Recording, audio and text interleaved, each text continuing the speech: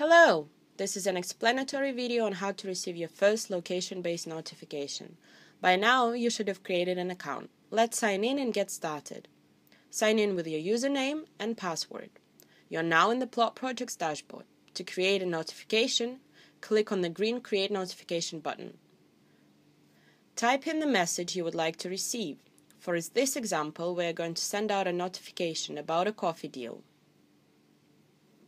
Once you scroll down, you should be able to see the geofence section. Select Create a geofence. Name it, for example, Starbucks Fifth Avenue.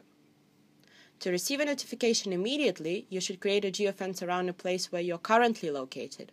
Or if you would like to receive it later, create a geofence around a place you can visit. We are going to create one around Starbucks at Fifth Avenue in Manhattan. The default geofence radius is 200 meters, but we're going to make it a little bigger. Click Create.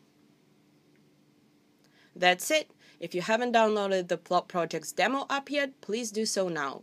You can watch the next explanatory video for more help. If you followed all the steps correctly, you should receive your notification promptly. Thank you for watching.